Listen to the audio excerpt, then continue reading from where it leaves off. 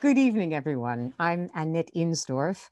Uh, I teach film history at Columbia University, but as many of you know, my uh, second home is the 92nd Street Y. And in addition to classic films with Annette Insdorf, the film history classes I've been doing since the pandemic began, I've had the great privilege of moderating Reel Pieces, not remote, but real pieces for over 30 years, bringing some of the greatest film artists of our time into the Y space and now virtually. And I'm being quite honest when I say that Aaron Sorkin is one of the people that I have most wanted to interview, especially with the 92Y audience. So, um, a few words of introduction. I will acknowledge that probably many of you have been fans of Aaron Sorkin's work since The West Wing, um, winner of 26 Emmys from 1999 to 2006.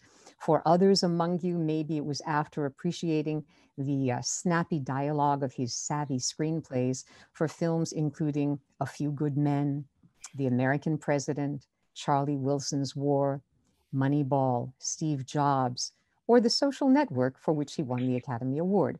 But to be honest, I became a fervent admirer a bit late in the game. Having missed the West Wing, I discovered and embraced his combination of craft and ethics in a series he created later, namely The Newsroom. About uh, eight years ago, I subscribed to HBO only to watch The Newsroom, finding it the very best that TV had to offer. And if we have time later in this hour, I'll return to that bracing program. But we are here to focus on the trial of the Chicago Seven, which he wrote and directed, and it's currently on Netflix. It's an evocative recreation of the seminal trial that took place just over 50 years ago of the anti war activists who were accused of conspiring to cause riots at the 1968 Democratic National Convention in Chicago. It also has an eerily contemporary resonance for our own times of protest and upheaval. The film begins and closes with the chant heard in August 1968 when demonstrators gathered, the whole world's watching. Well, that's even more palpable in 2020 when cell phones can record and transmit all events in real time. I will be asking our esteemed guest a few questions, including clips from the trial of the Chicago Seven, and then opening it up to you via the chat box. So, Aaron Sorkin, thank you so much for joining us. Well, thanks so much for having me, and thank you for that generous introduction. Not at all. Now, I remember watching on TV the approximately 10,000 anti Vietnam War activists in front of the Democratic Convention and the, what, 23,000 police and National Guard beating them. I was a teenager, but in 1968, you were seven. Did you know anything about this trial before Steven Spielberg asked you to write the screenplay 14 years ago? And if not, how did you prepare? I was, it, it, it was uh, 14 years ago, 2006, uh, that Steven Spielberg asked me to come over to his house on a Saturday morning, which I just want to point out is unusual. I, I don't hang out with Steven Spielberg. Uh, but he said he wanted to make a movie about the Chicago Seven, and I said, "Count me in. That sounds like a great idea. That'll be a fantastic movie." And as soon as I left his house, I called my father to ask him who the Chicago Seven were. Um, I, I was just saying yes to doing a movie with Steven. So I had a lot to learn. Uh, you know, I had a vague sense that there had been some civil unrest at the Democratic Convention in 1968. I had a vague sense that Abbie Hoffman was a leader in the counterculture. And I think all I knew about Tom Hayden was that he had been married to Jane Fonda at some point. But that was the extent of, of my understanding of the Chicago Seven. There were a dozen or so good books to read, uh, some of them by the defendants themselves, a 21,000 page trial transcript. Uh, but the most critical uh, part of the research was spending time with Tom Hayden. Hayden passed away a few years ago, but he was very much alive uh, when I started working on this. Um, I think we just are you your mic is still good? Because for a second, yes it is. I'm sorry. Did that uh, no. I meant for that to sound like the end of an answer. No no no it's it's fine. I just I always get nervous about microphones okay. now as you were writing the screenplay or while directing the film what surprised you most about the trial or its legacy? Well, the, the, the, trial itself was crazy, one of the craziest trials uh, in American history. Um, and there's there's actually much more circus uh, in the trial than I was even able to show uh, in the film. And like like the participants in the trial, like the people paying attention to the trial, which was everyone, the whole world was watching. Um, uh, for me, reading the trial transcript, I just couldn't believe this was happening in an American courtroom. Uh, I couldn't believe the decisions uh, that the judge was handing down from the bench, the part played by Frank Langella. Uh, uh, and I couldn't believe the stuff the prosecution was doing. Um, uh, add to that very colorful defendants like Abbie Hoffman and Jerry Rubin uh, and, and, those guys. Add to that the eighth member of the Chicago Seven, Bobby Seale, and what happened to him during the trial. Um, uh, I would say that there was very little that didn't surprise me. Okay. Now, your opening sequence, most of my viewers know if you've taken classes with me that I consider opening scenes to be crucial in establishing our relationship not only to the plot but to the style of the film. You introduce multiple characters, including John Carroll Lynch as David Dellinger, Yahya Abdul Mateen as Bobby Seale, uh, Eddie Redmayne as Tom Hayden, and I'll get into a few more in a moment. I want us to all look at a clip because I'm going to ask you a specific question about how that opening sequence works. Sure. So if you could show the clip we have prepared. Now, when it comes to the war, when it comes to social justice, there is simply not enough of a difference between Hubert Humphrey and Richard Nixon to make a difference. And so we're going to Chicago. Young people, by busloads, will go to Chicago to show our solidarity and our disgust, but most importantly, to get laid by someone you just met. 536,000 of us sent to a country not, not one of these bumper sticker patriots in Washington could find on a map with a motherfucking map. We're going to Chicago. Anyone who stays in the park, sings Woody Guthrie, they're gonna be fine. But the cops, cops gonna be a half inch from losing their fucking minds, because Daley's gonna wind them up to make sure of it. We're going to Chicago peacefully. We're going peacefully.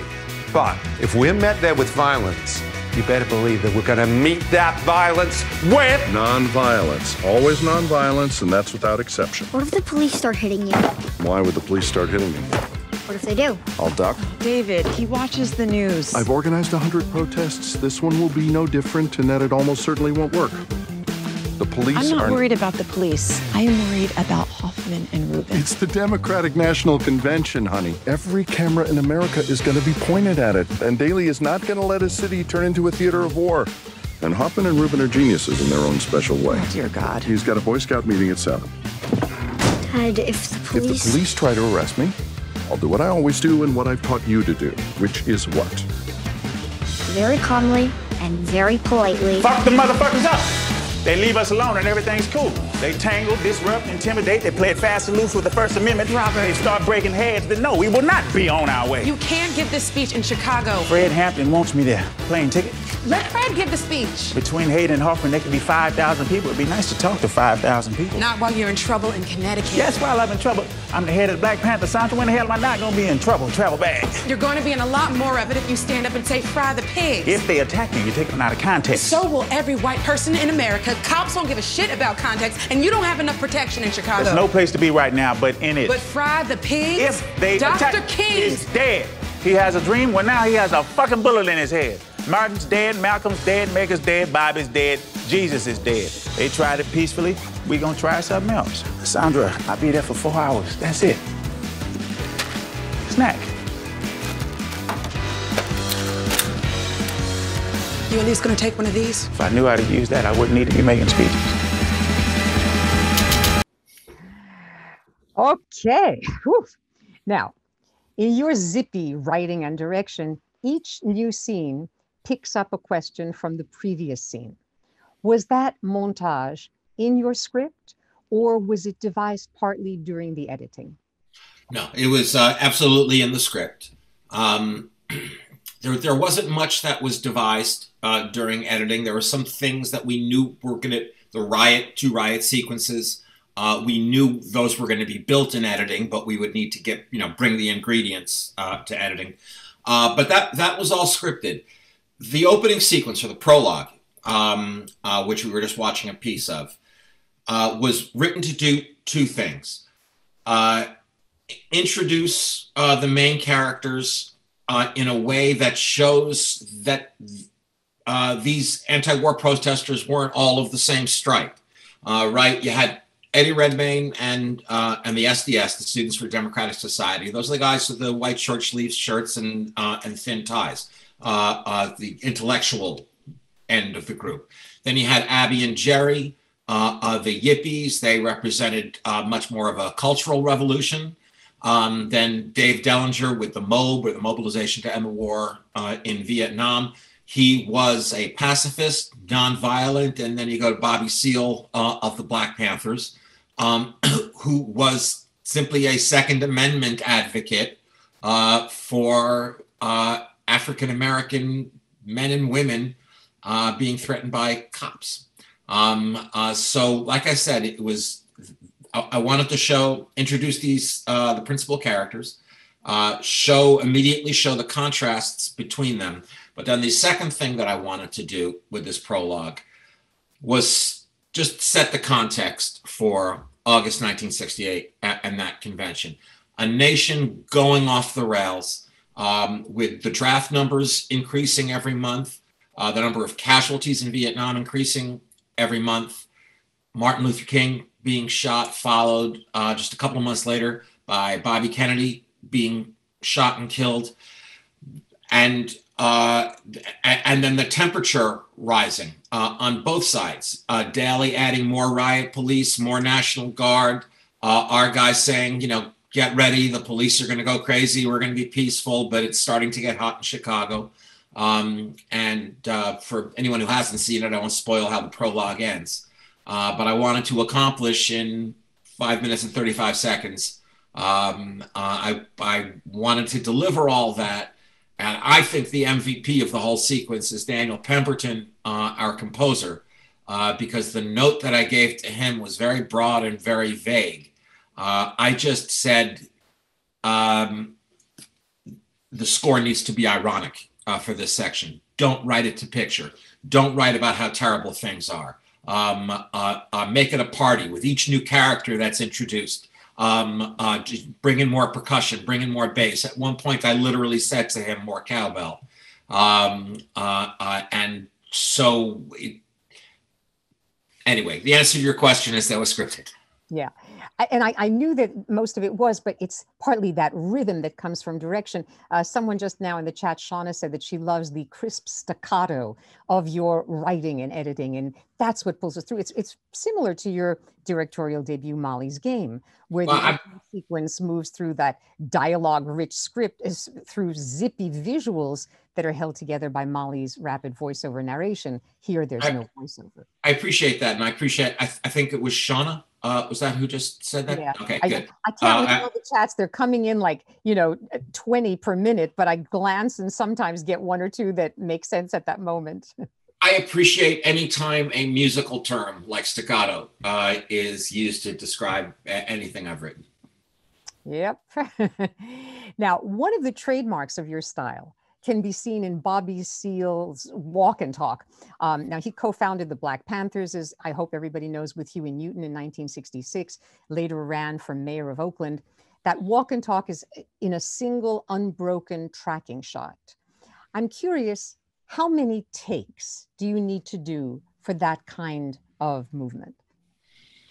That particular uh, one, I think uh, I, I, remember very the night very well when we were shooting that. I think we got it about eight or nine uh, takes. Um, it's uh, the choreography can be a little bit hard. Uh, it's you, you, have a, a third actor in that scene really who's the Steadicam operator, um, and his choreography needs to be worked out perfectly. Um, but one of the reasons I remember that night so well uh, is because Yahya Abdul Mateen, uh, who plays Bobby, uh, who is a great actor uh, and a great guy. I just remember him being in uh, such an upbeat mood that night, high fiving people and joking around, really being the, the field captain on the set. and I rem- turned to the script supervisor and remarked that, um, uh, God, Yahya is so upbeat tonight. And she pointed out that this was the only scene in the movie where he was free. Um, uh, in every other scene in the film, uh, he's being shoved into a chair, shackled, bound, gagged uh, uh, in a prison cell. It's the only scene in the movie where he's a free man. Absolutely. And by the way, uh, I just noticed a great remark from Holly. The walk and talk combined with the pitch and rhythm of your dialogue is what sets you apart. And somebody also wrote uh, pitch, rhythm, Holly, you're finding your way to my heart. And guess what? We have one more. Ariane says, You are a musician. oh, Ariane, that's, uh, I, I really do appreciate that. You know, my, um, my parents started to, I, I grew up in the East, uh, and uh, my parents started taking me to see plays starting from when I was very little for no particular reason other than they had a theater going habit when when they were young uh, and theater was affordable for uh, uh, you know for a, school teacher and a, and a young lawyer. Um, they started taking me to see plays, and oftentimes they were plays that I wasn't old enough to understand, like uh, Who's Afraid of Virginia Woolf when I was nine years old. So I didn't. I loved the theater. I loved when they took me to see plays. Uh, theaters were like cathedrals for me. Um, but sometimes I didn't understand what was going on up there. But what I loved was the sound of dialogue. I loved the sound of great actors and actresses and this language crashing into itself. And um, uh, it sounded like music to me. And so I wanted to imitate that sound. Yeah. And Ariane, who you appreciate already, just added, and you slip Gilbert and Sullivan in whenever you get the chance, don't you? Yeah, that, that's, I do, Ariane. I do. I like Gilbert and Sullivan, number one. Uh, number two, they, uh, on the West Wing, where there there were a few Gilbert and Sullivan references on the West Wing. Um, I couldn't on the West Wing make any pop cultural references because we were in it, because it was a parallel universe. You don't want to ask the audience to start doing mental math. Uh, for instance, I mean, the, the, show premiered in 1999. It was not from 99 to 2006. So if if somebody referenced Britney Spears uh, on the show, in a world where Britney Spears has the number one signal, uh, George W. Bush is the president. Um, you, your mind just automatically starts thinking that way. So I never made any contemporary references, and that is why the references were to things like Gilbert and Sullivan. that and Gilbert and Sullivan are awesome. Yeah. Okay. Yeah. Now, back to the trial of the Chicago Seven. Sure. Although I love some of these chat comments. Your film has 11 major characters. Yes. And I, I love ensemble pieces that convey interdependence rather than celebrating a sole hero. Um, films like uh, The Right Stuff, Philip mm-hmm. Kaufman, mm-hmm. mid 80s. It presents individuals who exist primarily in terms of a larger community. And when there's a collective protagonist, the resolution emerges from group dynamics in a way that acknowledges the insufficiency of a single hero. So, first, when you write the script, do you speak the lines out loud to differentiate how each of the many characters will sound? Well, I speak all the lines out loud. I'm very physical uh, when I'm writing. I play all the parts. I'm jumping up and down from my desk. I'm walking around. Sometimes I'll find myself like two streets away from my office because that, that's where I walk to. I once broke my nose writing. Uh, I was getting into it uh, so much. Um, but it's not to make sure that they're sounding different. Um, I, I, don't really differentiate characters by the way they speak.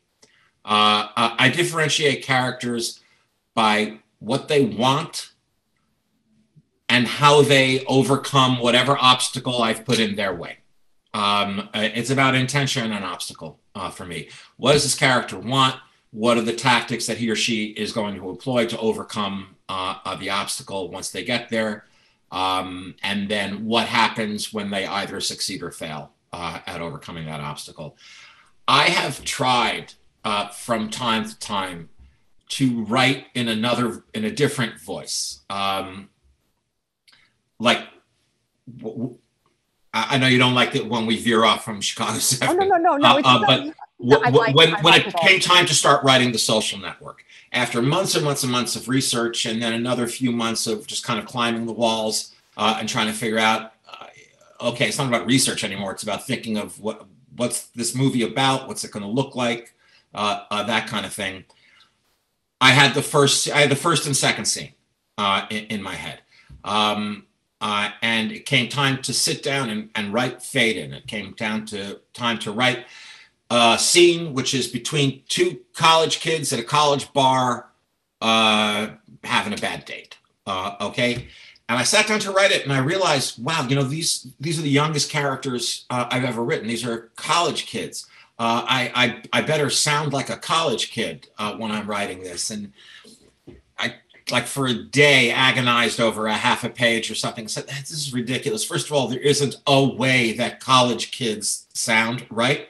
Uh, there are millions uh, of college kids, and I'm assuming they sound as different as everybody else sounds. Second of all, I'm just a bad I'm bad at impressions. Uh, I I don't know how to write like someone else. I can only write like myself, and that, that's not to say I make characters sound like me. I'm I'm not. My characters are considerably more articulate than I am. I'm sure your audience is getting that impression right now.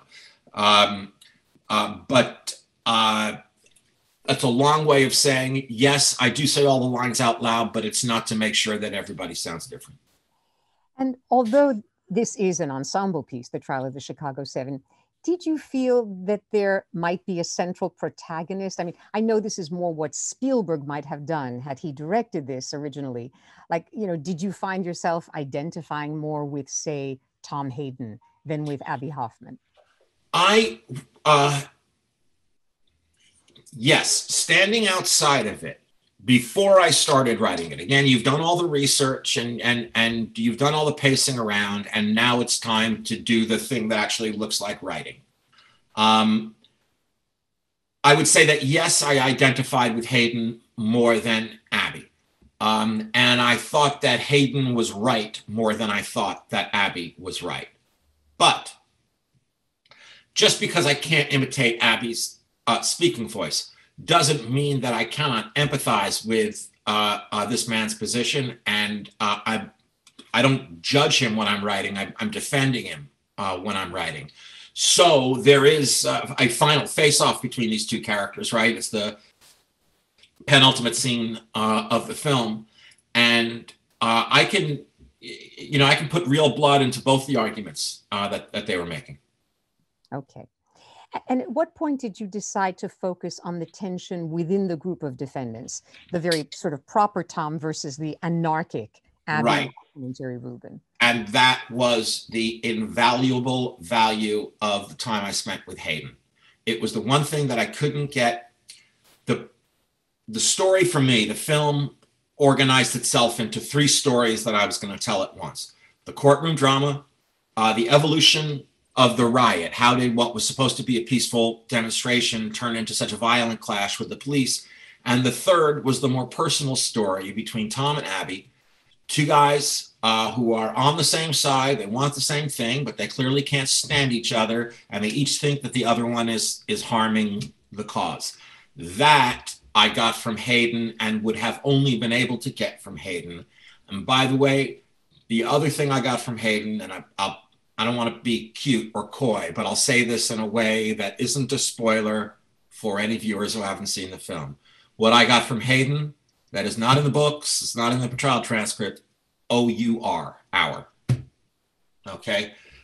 That was a pretty big deal, right? Um, yep. Bill Goldman, William Goldman, who's a, a hero to a, a, lot of us, and I'm sure uh, to you and to your students, talks about in Adventures on the Screen Trade, he talks about having a secret. And when he was researching Butch and Sundance, and he found out the Sundance kid couldn't swim, um, and he had that in his pocket. It was such a gift uh, to a screenwriter. That's how I felt about Oh You Are. I cannot wait until I get to this. Okay. Now, given that the trial lasted over 150 days, I'm curious how long was your first draft of the script and how many more drafts were there? Okay, I um, I don't think I have a reputation as being an economical writer. uh, the first draft was uh, it was over 200 pages, but was not my longest screenplay. okay. That was not my longest first draft, but it was over 200 pages. So clearly, um, some trimming had to happen, but that's okay because uh, what I preach is is this, um, and you may preach something different. Uh, get when you're writing the first draft, get to the end. Um, uh, don't keep going back to the beginning and start starting over again. Get to fade out, and you will have learned a lot about the thing that you're writing. You'll have learned what you need, what you don't need anymore, uh, uh, what you need to underline and hang a light on uh, uh, now, what you need to set up better in the first act so that it can fully pay off in the third, that kind of thing. So it's okay if your first draft is very long. Don't try to shame me for that. Oh, I'm the last person in the world to shame. When I have my students write papers, I'm, I'm, granting they're not screenplays, but I tell them revision is the most important thing. It's the rewrite, not the yes. first draft. So I believe in refining as opposed to saying it's done. Um, exactly right. You know, for me, uh, whether it's a screenplay or a play or an episode of television, it's not finished, it's confiscated uh, uh, someone comes in and says, "Pencils down. We, you're, you're done. We have to do this now." Right. Now, when the film initially didn't get financing, I gather you tried writing it as a play, and one of the questions that came in uh, from Megan was, "Might there be a stage version, a play version of the Trial of the Chicago Seven? Do you think? Listen, I've said this a couple of times and I get laughed at, but I'm 100% serious. I think it would make a great musical. See what happened? Thank you for laughing right in my face when I said No, I'm laughing. I'm laughing with pleasure, not mockery. Pleasure. It, come on. It would. I make agree. A great no, with a contemporary score? Uh yeah. Look, I to be honest with you, um, you have, not just in this film, shown how well you understand the overlap between a courtroom and a theater. And what you have in Trial of the Chicago Seven, it was a show trial with the Yippies performing their antics in the court.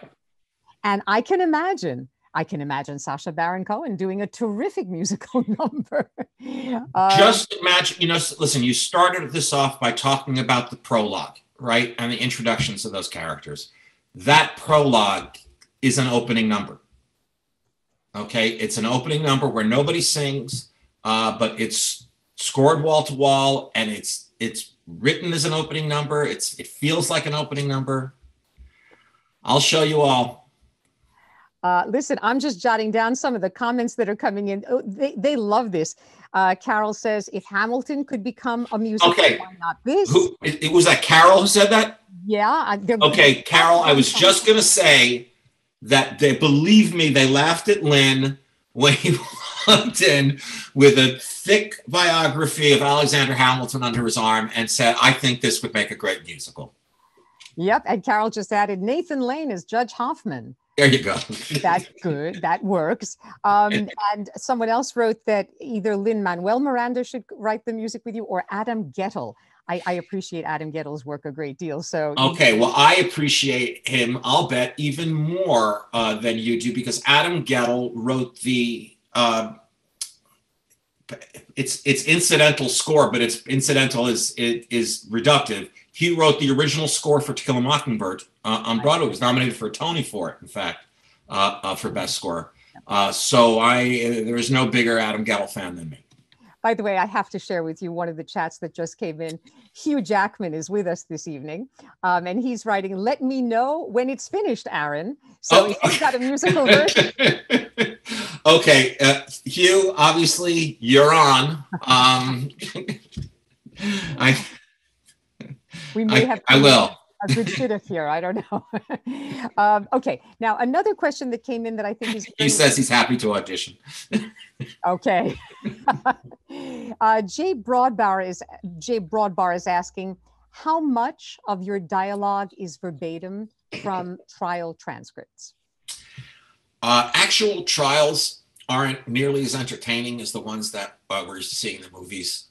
Um, so very little of the dialogue is um, is verbatim. What is verbatim? Uh, most of uh, most of the judge's dialogue, uh, uh, most of his reactions to objections uh, and so forth are verbatim, and every word of uh, any exchange with Bobby is verbatim. I just felt like that was kind of sacred territory, and I didn't want to mess with it. Okay. And but like for example, Schultz calls the defendants the radical left, which Mhm. sounds like today's rhetoric. not always in the script? I've been asked a few times uh, if I uh, if the script changed to reflect events uh, in the world. The answer is no. Uh, uh, events change to reflect the script in many many ways. Look, uh, we thought the film was plenty relevant when we were making it last winter. Uh, we had a president. Um, who at his rallies was getting nostalgic about the old days where they'd carry that guy out of here on a stretcher and beat the crap out of him and, and that kind of thing. Uh, and then we made the film, and suddenly, I think it was May, uh, that George Floyd was killed, and Breonna Taylor and Ahmaud Arbery, and uh, suddenly there were again violent clashes between protesters and police, tear gas, nightsticks, um, and a demonization of uh, of protest. Uh, so again, what happened was that we were just on a 14-year crash course with uh, with events. Uh, so no, I the answer is I did not. That line has been in the script for years. Bobby, can you breathe? Has been in the script for years. Uh, yeah. yeah. Um, okay, so I'm going to ask about casting because a lot of the questions have been in that line. Now, Mhm. um, we could also say that the circus like ambience of that trial was due to the egregiously imperious judge Julius Hoffman. Uh, he happened to be five foot six, if I remember correctly. yes, Um, you cast Frank Langella, who I think is superb. Um, talk about the casting of him as Hoffman, and then we're going to, as the judge Hoffman, and then we're going to get into some of the others. Sure. Yes. Just to be clear, as the judge is in the movie, Judge Hoffman, Abbie Hoffman are not related. Um, uh, the real Julius Hoffman, as you pointed out, he was a um, diminutive uh, uh, guy. That wasn't as important to me. A physical resemblance to the character uh, wasn't as important to me as just, first of all, just a great actor. Uh, you know, if you if you start with that. If you start with a great actor, good things will happen. Uh, what you needed from Judge Hoffman was a sense of he is the last guardian of the America uh, the way it used to be, or we imagine the way it used to be. Um, and you people um, will, you know, will, will not overtake us. Um, and uh, it, you know, in Frank, you get an enormous amount of power. Uh, but like I said, mostly what you get is a world class actor. Yes. And I just want to also mention, because it's a small part, but I love that you cast as Fred Hampton Kelvin Harrison Jr., who I have so admired in Luce and in Waves. I mean, this is really one of the up and coming great actors. He is. Uh, uh, he's a great actor. You're going to see a lot more of Kelvin. Um, and happily, you're going to see more of the Fred Hampton uh, story, which we just brush up against uh, in this movie. But uh, either later this year or early next year, I'm not sure when, uh, Judas and the Black Messiah, which is the story of how Fred was set up, how the Panthers were infiltrated, and the night that he was killed. Absolutely. Now, a lot of the questions are about the casting of Sacha Baron Cohen, but I'm going to make a slightly wider question from this. You cast quite a few Brits. I mean, Mark Rylance as William Kunstler, Eddie Redmayne as Tom Hayden, Alex Sharp, a smaller part, obviously, uh, playing. Yeah, Uh, and he won the Tony for the Curious Incident. he sure did. Um, could you? Yeah, no Australians, though, you'll notice. Not yet. Right. um, um, could you talk a little Oh, he got to that really fast. Okay.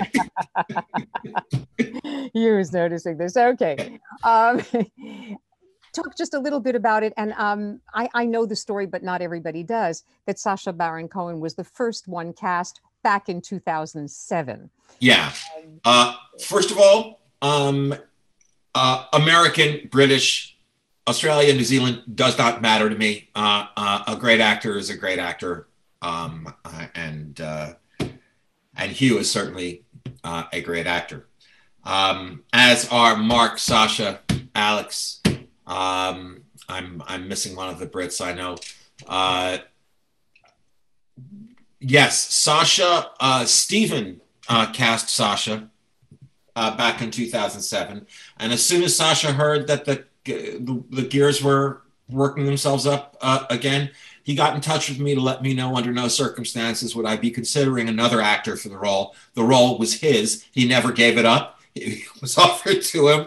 Uh, it's his. That that part's taken. You can stop the casting search there. Great. So I did.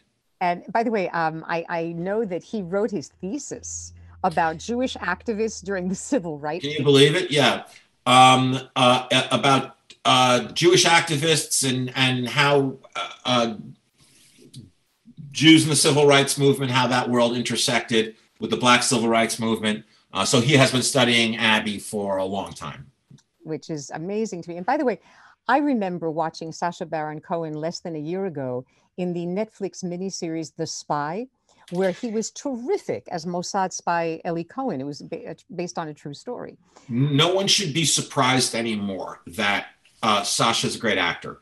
Uh, you know, we were introduced to him as a clown, an incredibly sophisticated clown. I, I, I, I don't mean clown to be um, not as an insult. I mean that was his vocation, uh, and uh, uh, he is he just happens to be an excellent actor. Uh, he's an excellent actor who just happens to be uh, have this gift for improvisation and uh, creating these wild characters and getting you to say silly things. Yeah.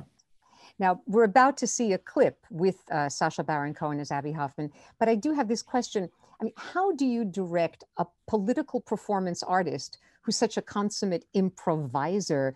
Did you have to calibrate the performance of an actor playing an activist who used theatrics on stage and off? I mean, did you have to ever ask him to take it down a notch? Well, you know, Sacha understood uh, before we started, because we talked plenty before we started, um, that this wasn't going to be some place where his considerable skills as an improviser were going to be needed at all. Uh, uh, that he was you know, he was doing a scripted uh, film, um, that was that was just fine with him.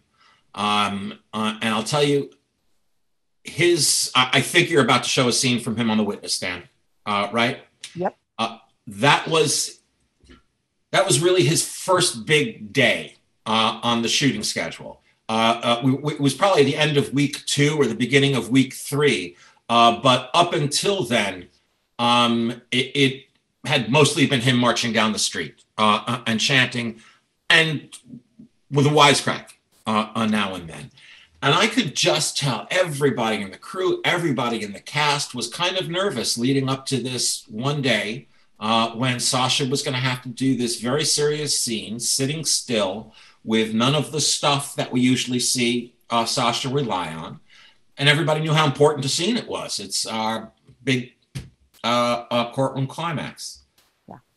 Well, well, I, I, don't remember having to say more than five words to him uh, in, in, terms of directing that thing. I mean, beyond you're doing great. Uh, uh, you know, you want to do it again? You're doing great. All right, let's take a look at that scene. I know that almost this entire audience has already seen Trial of the Chicago Seven, but let's just uh, have, we're going to run the clip of Abbie Hoffman on the stand. To the record, please. It's Abbie. Last name. My grandfather's name was Shaboisnikov, but he was a Russian Jew protesting anti-Semitism, so he was assigned a name that would sound like yours. What is your date of birth? Psychologically, 1960. What were you doing until 1960? Nothing. I believe it's called an American education. Why don't we just proceed with the testimony? Sure. Abbie, do you know why you're on trial here? We carried certain ideas across state lines. Not machine guns or drugs or little girls, ideas. When we crossed from New York to New Jersey to Pennsylvania to Ohio to Illinois, we had certain ideas.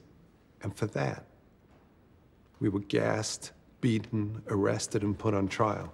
Okay. In 1861, Lincoln said in his inaugural address When the people shall grow weary of their constitutional right to amend their government, they shall exert their revolutionary right to dismember and overthrow that government.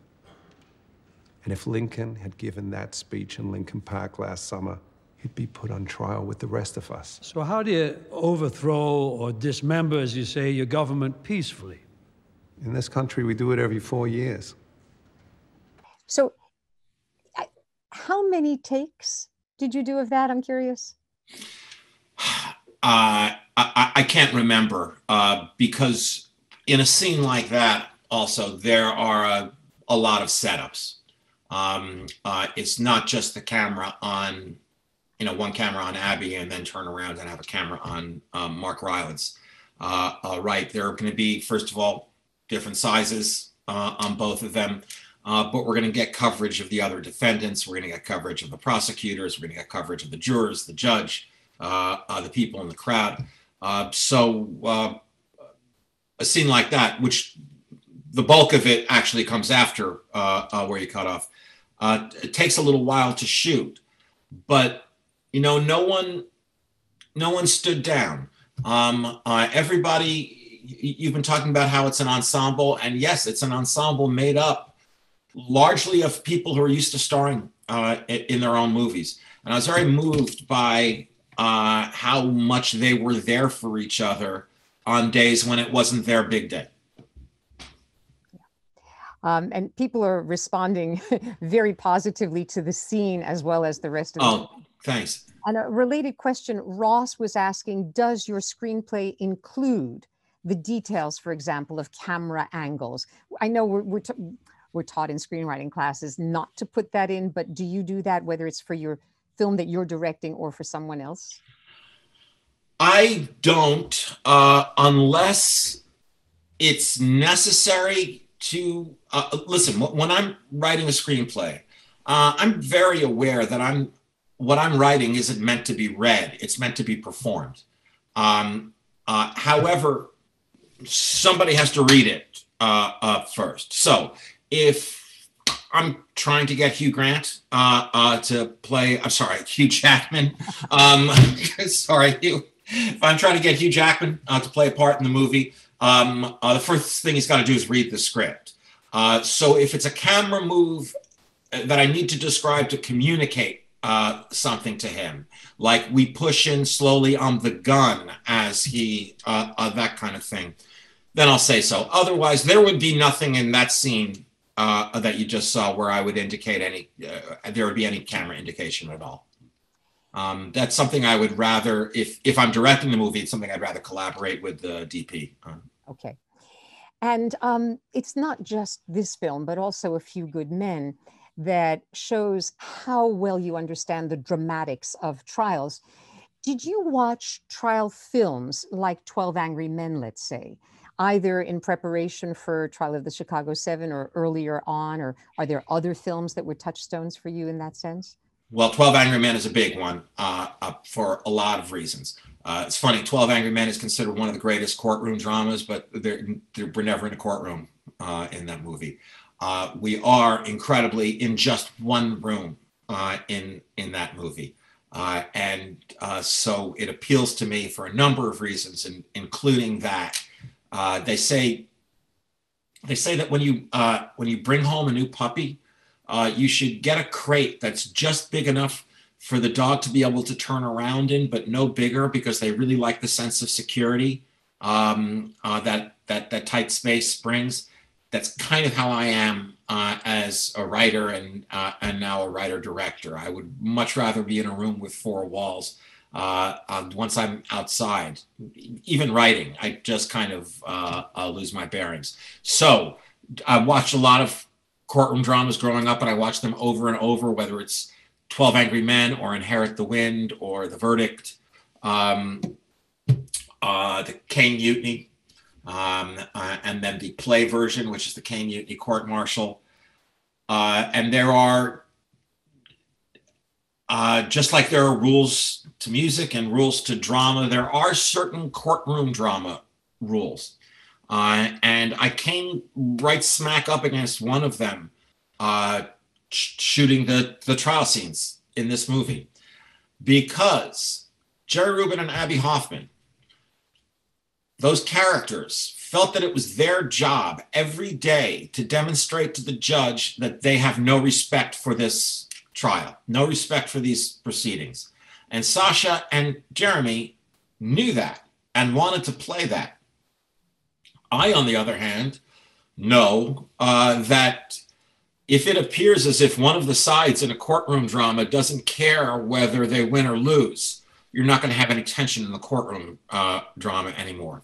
Um, so I would go to them and explain my problem to them. And they would say, that sounds completely reasonable, but it kind of sounds like a director's problem. Uh, you gotta have to figure that out. So we all figured it out together.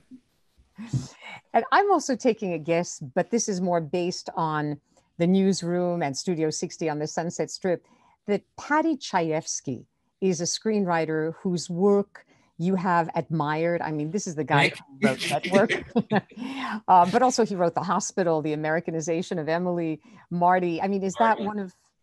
Yes, of course. Um, uh, of course. It, listen, if you're if you're a screenwriter, chances are one of the reasons you're a screenwriter is because of network, um, uh, and another reason is William Goldman.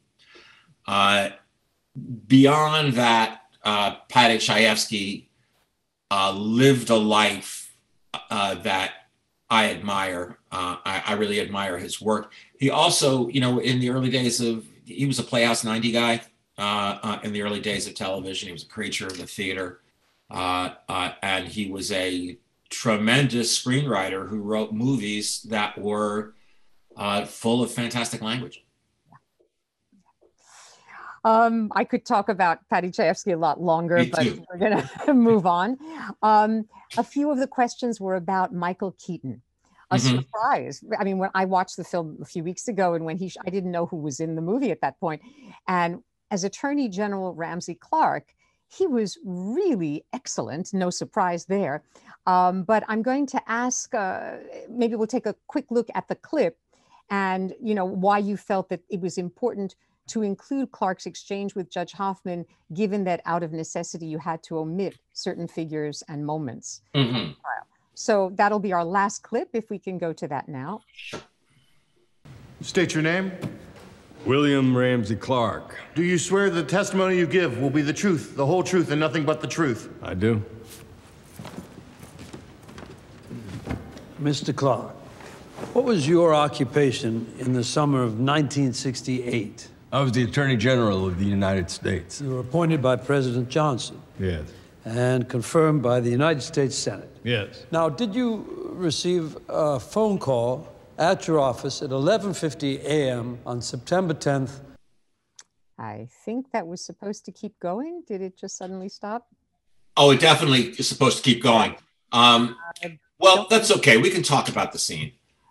Okay. Um, I mean, I, I found what happens is um, uh, cover your ears if this is going to be a spoiler, but uh, um, Ramsey Clark, the former attorney general, gives exculpatory testimony, uh, uh, evident testimony of innocence of these guys.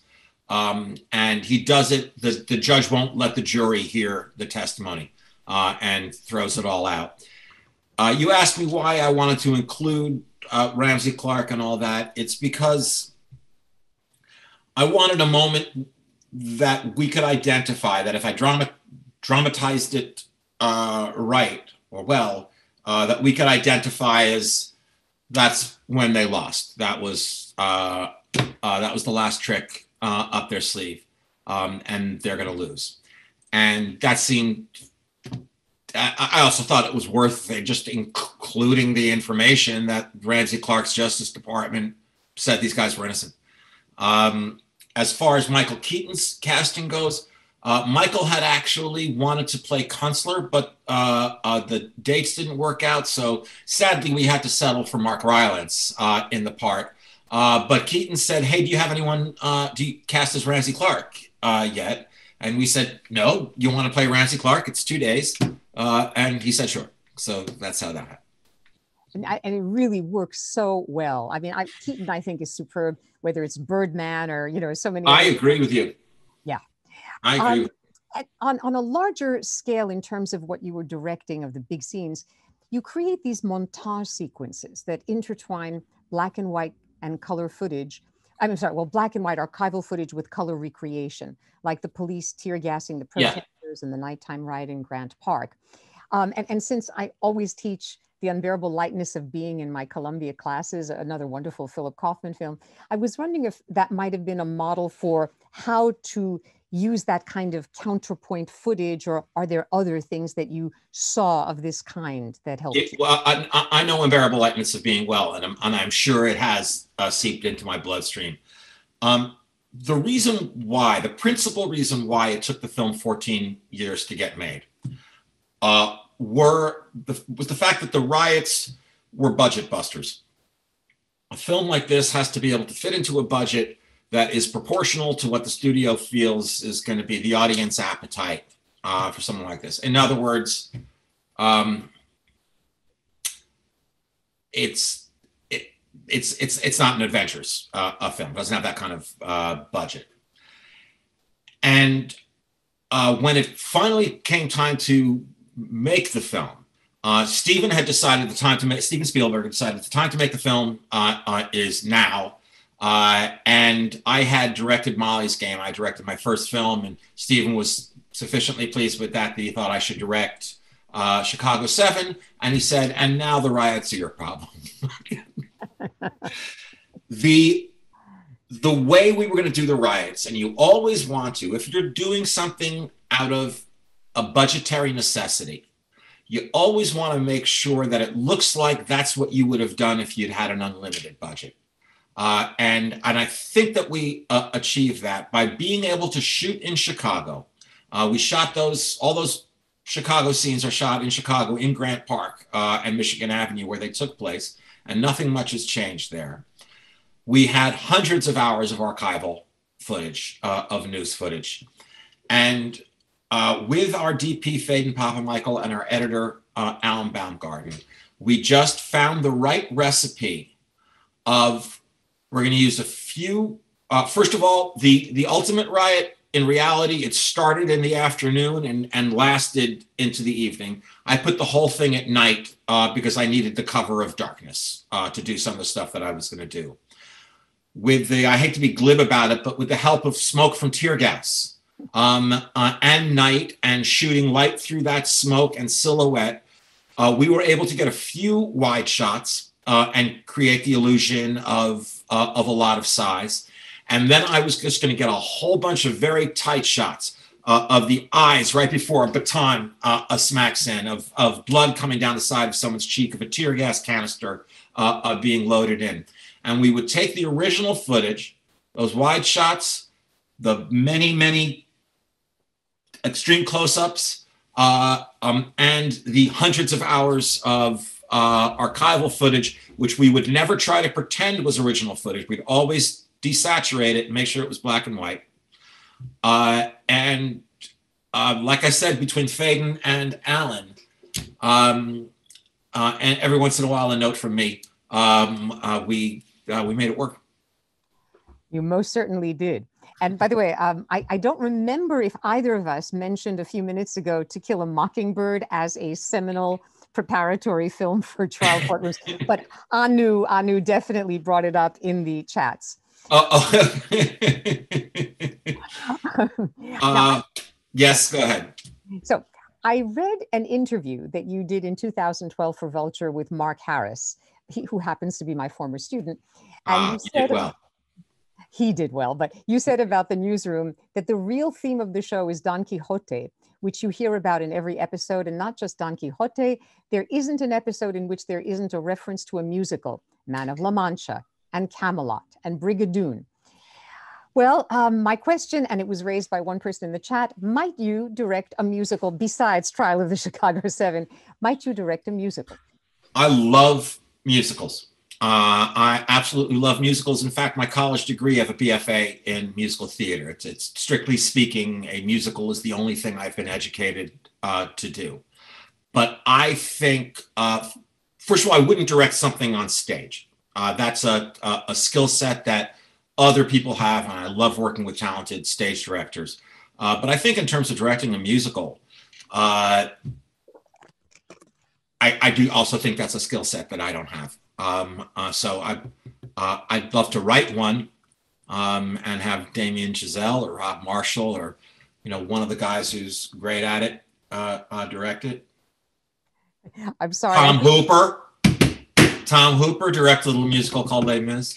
Uh, Ross just put into the chat, how's this? The Social Network 2, the musical, written by Aaron Sorkin, directed by David Fincher, starring Hugh Jackman. Okay, it's perfect. Uh, but can I be there when you suggest it to Fincher? For sure. no, that's a winner. Yes. Well, actually, I have. There are so many great questions that came in from the chat, and I also have one. And Jen says that we need to wrap up in about two minutes. then I'm not going to ask my slightly long question. I will instead uh, go to a really nice one from Becky Warshaw, uh, who, after praising you no end, asks, "Did you ri- did you ghostwrite the Biden speech? If not, his speechwriter stole from you." um, hey Becky, uh, uh, how you doing? Um, and uh, I'm very flattered by the comparison. Thanks. Um, but I'm even more. There was a uh, uh, an article in the Washington Post today uh, talking about how um, Biden is entering kind of like Atticus, uh, Atticus Finch, and, and To Kill a Mockingbird. And I like thinking of him that way. Hmm, great. And the last question comes from somebody whose name seems to be art student. He's an art student, I, or she is. Cool, um, what have you learned about writing from directing? That, that's a great question. Um, I, I, can. This is something I think I've learned about my own writing, uh, but maybe it, it, applies to other people. Um, and, and, it's going to sound like a tiny thing, uh, but it's not. Uh, when you write something, see what happens. Uh, just as an experiment, see what happens when you cut the last line of it. Um, uh, I have found that so often uh, I write a scene one line longer than uh, it should be. And um, it's something I only discovered by being able to say to an editor, hey, let's try cutting out a line early. Hmm. I, I, know you were expecting a, a sort of larger answer than that. Um, and, and if I had more time to think, I, I probably would have a better answer than just something having to do with editing. Uh, but no, I want you to know that I'm, I'm a work in progress. Okay, I am the little acorn that becomes the oak. Give me a chance. I am nothing if not potential. um, the responses that have been coming in throughout, which I mean, I can't even follow most of them. We have about 700 people, and many of them are writing. We obviously could spend at least one more hour, and we still would not have scratched the surface of what makes the trial of the Chicago Seven so good and what has made pretty much everything you've touched so resonant and so meaningful. So I'm just going to say that this has been a gift to at least have an introduction to the world of Aaron Sorkin. And I sincerely hope that we have the opportunity to talk to you again, because I assure you that there were dozens upon dozens of questions that should have been asked but didn't get asked. It would be my pleasure. Um, I had a lot of fun doing this, and thanks everyone um, uh, who came. Thank you. I really appreciate it. Oh, well, we do too. And I had no expectations for special answers that you're supposed to give. I, one of the great things about being an educator is that I learn so much from my students and from my guests. And it just enhances my understanding as as it does enhance the understanding of all of us. Wonderful. Good luck with the trial of the Chicago Seven. Appreciate it. making it and thank you for joining us tonight. Thank you very much. Take it easy, Hugh. Thank you. Good night, everybody.